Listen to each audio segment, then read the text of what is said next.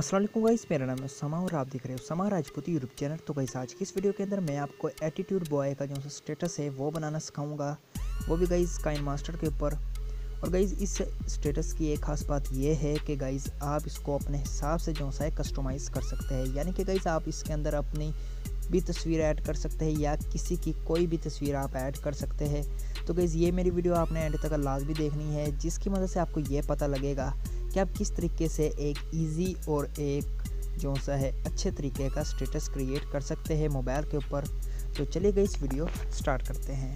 तो गई सबसे पहले आपको जो सी है, अपनी पिक्सल ऐप एप्लीकेशन ओपन कर लेनी है और इमेज साइज़ के ऊपर आपने जो सा है यूट्यूब थंबनेल का साइज़ ऐड कर देना है। ऐड करने के बाद गाइज़ आपने इस न्यू टेक्स्ट को डेल कर देना है।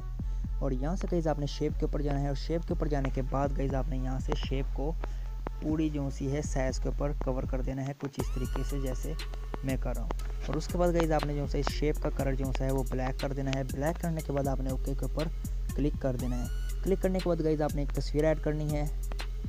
तस्वीर ऐड करने के बाद गई आपने इस तस्वीर को अपने हिसाब से जो सा है कस्टमाइज़ कर लेना है। यानी कि जितना आप बड़ा छोटा करना चाहते हैं इसको आपने गाइज़ अपने हिसाब से ऐड कर देना है। उसके बाद गाइज़ आपने इस तस्वीर के इर्द गिर्द जो सा है स्टॉक ऐड कर देना है। स्टॉक जैसे कि गाइज़ मैं यहाँ पे आपको ऐड करके दिखा देता हूँ कि आपने इस स्टॉक की जो सी विर्थ है, वो आपने कितनी रखनी है। तो यहाँ से गई जो सी आपने स्टॉक की जो सी विर्थ है, वो आपने जो सी है आठ रख लेनी है और यहाँ से गई आपने इसको इस तरीके से कवर कर देना थोड़ा और भरा के आपने गई इसको इस तरीके से ऐड कर देना है।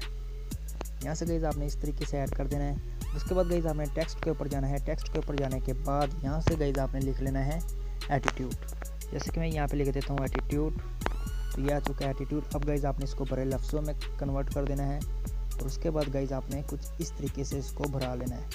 भराने के बाद गाइज़ यहाँ पे आपको एक ऑप्शन आएगा। अगर आप ए वाले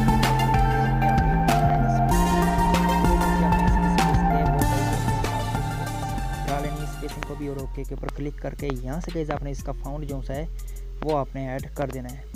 यहाँ से गई कुछ इस तरीके का फाउंड मैंने ऐड कर दिया है और अब गई मैं इस तस्वीर को जो सा है सेव कर लेता हूँ।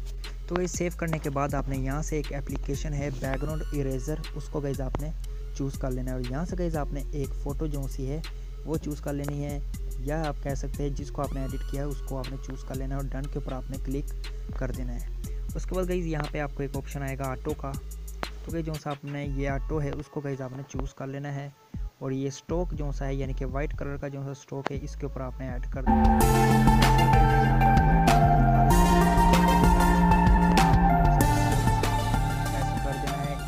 से आपने इसको सारा जो सा वाइट वाइट कलर का स्टॉक है, उसको गाइज़ आपने रिमूव कर देना है। तो गाइज़ जैसे कि आप देख सकते हैं, सारी तरफ़ से जो सा स्टॉक वो रिमूव हो चुका है। और अब डन के ऊपर क्लिक करूँगा।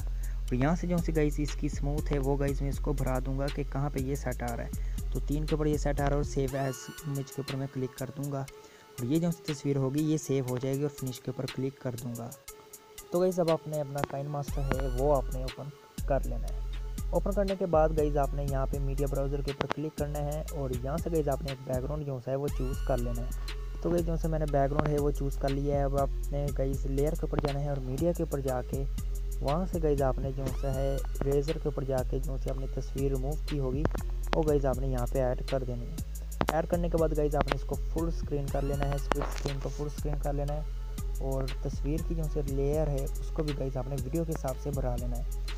बनाने के बाद गईज़ आपने कुछ इस तरीके का आपके सामने इंटरफेस आ जाएगा और अब गईज़ आपने लेयर के ऊपर दोबारा फिर क्लिक करना है, अब गईज़ आपने कोर इफ़ेक्ट जो है, वो यहाँ पर ऐड कर देना है। तो गाइज़ यहाँ पे आप देख सकते हैं, ये एक रेडियो का इफ़ेक्ट है। इन दोनों गाइज़ एक बैकग्राउंड का लिंक और एक गाइज़ रेडियो जो है ए वी प्लेयर है, इसका गाइज़ मैं आपको लिंक जो है डिस्क्रिप्शन के अंदर प्रोवाइड कर दूँगा तो आप इसको गाइज़ वहाँ से जाके डाउनलोड कर सकते हैं। अब गाइज़ आपने इस रेडियो ए वी प्लेयर का जो सा है बैकग्राउंड को रिमूव करना है क्रोमा की से। गईज आपने क्रोमा की के ऑप्शन को अनेबर करके यहाँ से गईज आपने 50 50 परसेंट दोनों को कर देना है। और ओके के ऊपर गईज आपने क्लिक कर देना है। क्लिक करने के बाद गाइज़ आपने यहाँ पे देखेंगे कि आपने इसको गाइज़ थोड़ा छोटा कर लेना है, यानी कि इसके बिल्कुल हाथ के नीचे आए जैसे कि आप यहाँ पे देख सकते हैं कुछ इस तरीके से। इस तरीके से गाइज़ आपने ऐड कर देना है, और अब गाइज़ आपने यहाँ पे चले जाना है। यहाँ पे आपको एक ऑप्शन आ जाएगा कलर फ़िल्टर का। कलर फ़िल्टर का आपको ऑप्शन आएगा, और उसके बाद गाइज़ आपको यहाँ पे रेड कलर का एक ऑप्शन आ जाएगा। तो गाइज़ आपने इसके ऊपर टिक के ऊपर क्लिक कर देना है। जैसे गैज़ आप क्लिक करेंगे तो यहाँ पे आप देख सकते हैं जो सा आपका ए वी प्लेयर रेडियो का जो सा होगा, उसका जो सा कलर होगा, वो रेड हो जाएगा। तो वैसे आप देख सकते हैं कि आप इस तरीके से एक कलरफुल जो सा है एटीट्यूड वाला स्टेटस अपने मोबाइल के ऊपर क्रिएट कर सकते हैं। तो उम्मीद करता हूँ कि गाइज़ आपको ये मेरी वीडियो पसंद आई होगी। अगर पसंद आई तो मेरे चैनल को लाजमी सब्सक्राइब करें। अब तक लेते हैं इन नेक्स्ट वीडियो में मिलते हैं। अल्लाह हाफिज़।